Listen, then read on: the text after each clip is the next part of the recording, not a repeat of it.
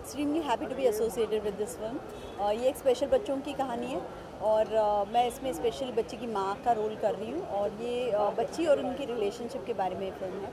Uh, मुझे बहुत अच्छा लगा uh, जब मैं एसोसिएट हुई इस फ़िल्म से। Uh, पहले तो डर लग रहा था कि कैसे कर पाऊँगी। स्पेशल बच्चों के साथ कोई एक्ट्रेस नहीं है एक्चुअली स्पेशल बच्चे हैं।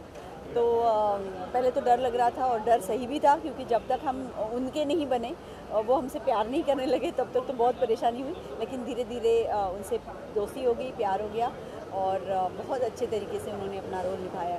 ये फ़िल्म करके मुझे एहसास हुआ कि ये स्पेशल दुनिया कितनी स्पेशल है और हमें लगता है कि अरे रे, हमें तरस आता है ऐसे बच्चों पे।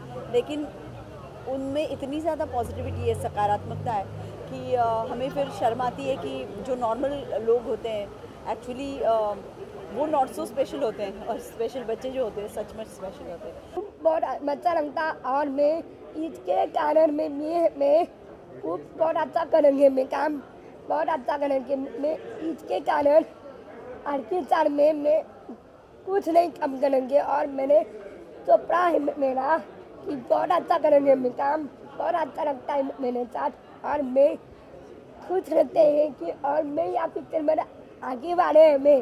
बहुत अच्छा लगता है, बहुत अच्छी से काम करेंगे और सबको मेरे साथ अच्छा लगता है मेरे जब भी हम देखते हैं कि ऐसी बच्ची इतना सब अचीव कर सकती है तो आप मेरे जैसा, इनके जैसा, हर एक आदमी को लगेगा कि यार, हमें भी कुछ करना चाहिए। हम लोग लाइफ में हमेशा रोते ही रहते हैं। ये नहीं मिल रहा है, वो नहीं मिल रहा है ग्रीड रहती है हमें। ये मेरे को चाहिए, वो चाहिए।